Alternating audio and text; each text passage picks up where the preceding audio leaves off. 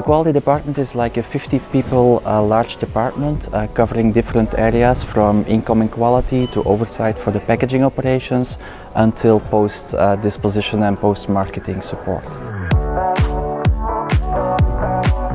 I'm working together with supply chain, with regulatory affairs, with international quality. It's very exciting. In my current position for clinical trial supplies and warehousing, we were global which means that you need to strategize and align the different quality departments also global. And that is a challenge to ensure that we have the same strategy, the same strength, and that we take the same decision constantly. What I like at Amgen is the fact that quality is everybody's business. It's not only for quality, it's for production, it's for maintenance, it's everybody, it's a joint effort. You cannot tell what tomorrow will bring. Every day there's a new challenge or a new opportunity for you to learn as a person.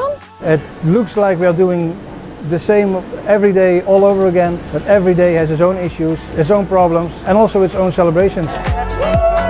I started as an intern, then I stuck around, so the position I'm in now is um, supporting production as a QA department. We are a lot of people with many different uh, environments, different uh, backgrounds.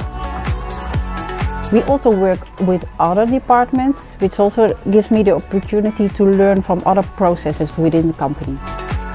What I like about working for Amgen is the diversity within Amgen and all the different things we are, we, are, we are doing here. And in the end, of course, with our mission to serve patients and also the collaboration within the teams, that's what really excites me uh, about my job and about Amgen.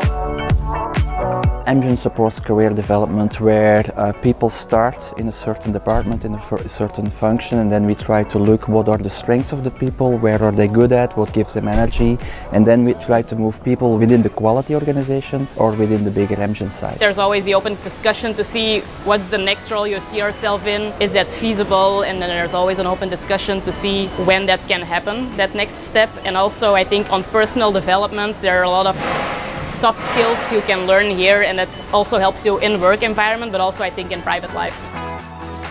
I think when you really are involved from the beginning to the end with a new product introduction and then it ended up in a success, that's a really exciting moment. If you show your competences and you show your motivation and you show that you really want, they will provide you with the opportunities. It's just up to you to take them.